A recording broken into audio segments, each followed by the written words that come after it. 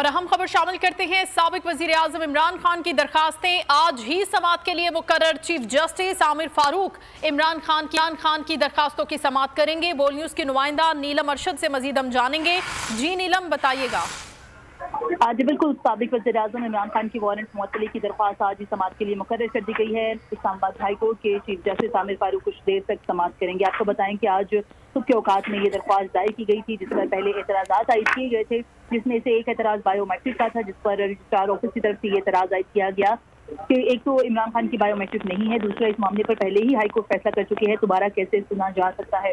ताहम इन एतराज़ा के साथ ही अभी आ, कुछ देर तक chief justice Islamabad high court Aamir Farooq तो इस दरख्वास्त पर समाप्त करेंगे। इमरान खान की ये दरख्वास्त जो है वो वारंट मुतली या मनसूखी से मुतालिक है जो कि आज दायर की गई थी और एतराज़ा के साथ ही अब से कुछ देर बाद इस दरख्वास्त पर समाप्त होगी। जी। कुछ देर बाद इस दरख्वास्त पर समाप्त कर दी जाएगी। बहुत शुक्रिया नीलम आगाह कर रही थी आप।